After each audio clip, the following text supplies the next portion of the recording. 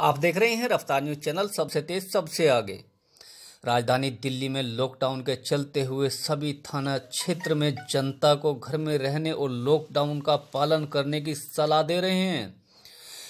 वहीं बुराड़ी थाना एसएचओ के नेतृत्व में टीम बनाकर पूरे बुराड़ी के अंदर भेजी जा रही हैं। सभी लोगों को घर में रहने की हिदायत दी जा रही है। कोरोना जैसी महामारी बीमारी से बचने के लिए लोगों को सलाह दी जा रही है।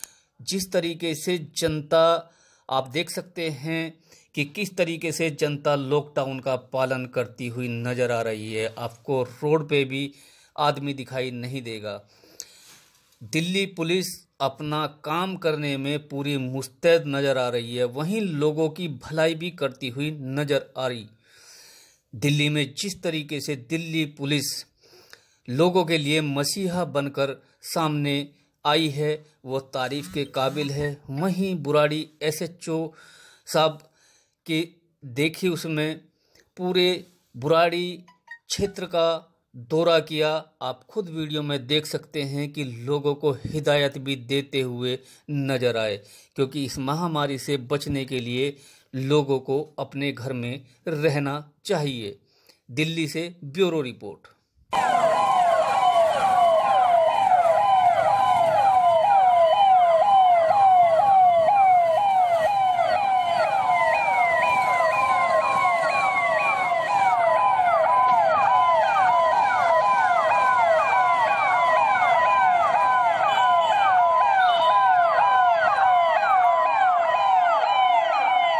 आगे लो आगे लो आगे लो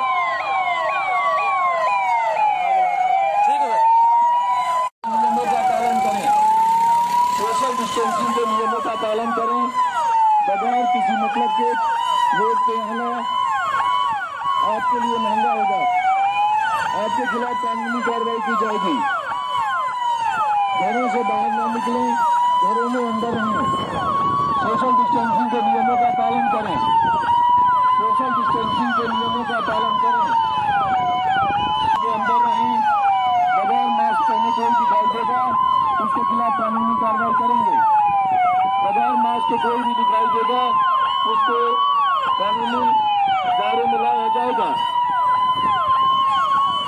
बगैर मास्क जो दिखाई देगा उसे गिरफ़्तार भी कर सकते हैं। लॉकडाउन के नियमों का पालन करें। लॉकडाउन के नियमों का पालन करें। बगैर कर्फ्यू पास के कोई भी अपने घर से बाहर नहीं निकलेगा। बगैर मास्क लगाए कोई भी घर से बाहर नहीं निकलेगा। अगर बगैर मास्क लगाए रोड के ऊपर पाए जाएँगे, धारा एक सौ अठासी के तहत कार्रवाई की जाएगी।